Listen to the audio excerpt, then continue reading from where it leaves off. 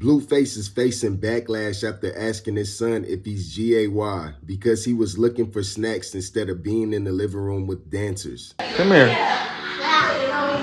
There's booty cheeks out here. You in here looking for chips. And Slim Jim. Are you gay? You ain't gay, right? My man. My. Lil homie confused why it ain't no food in that big old pantry. Lil buddy starving. Jit looking like where the snacks at. Buddy need groceries, not strippers. He G-A-Y because he hungry?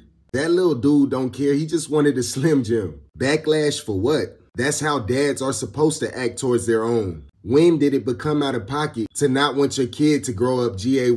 I'll never have grown naked women around my child. That's just me though. They not even on that type of timing to begin with. He just joking with his son. It's not that deep. Boosie responds to Kodak Black. You ain't never been no street ninja. You a capper rapper.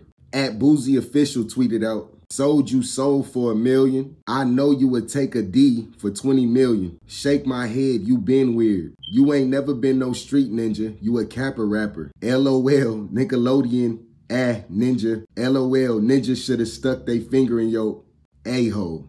Hashtag Kodak the Stallion. What kind of freaky-ish Boosie on? 20 mil for what? Stick your finger where? How you hate G-A-Y-ish, but always saying G-A-Y-ish? Damn, make it make sense. Why dudes always gotta talk about D-I-C-K when they arguing? Ump too old to be beefing when he only selling 500 copies. Kodak got Boosie so mad Buddy done turned freaky. And you sold your car to get a bond. Old heads will say the most fruitiest thing to disrespect you. Boosie, next time please put pause at the end.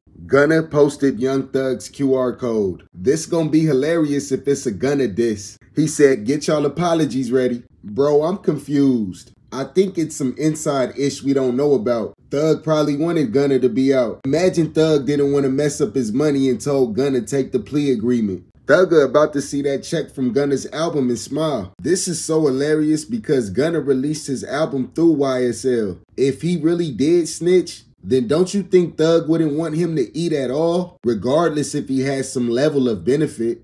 Plus, he already made it clear he supported Gunna. People run with the snitch narrative because it's fun at this point. So y'all mad at Gunna and Thug or not? The rap game is finished if Thug is still cool with Gunna. Can we know the dynamic between these two? I'm trying to tell y'all, they still locked in. But he is on trial and can't make a statement about it.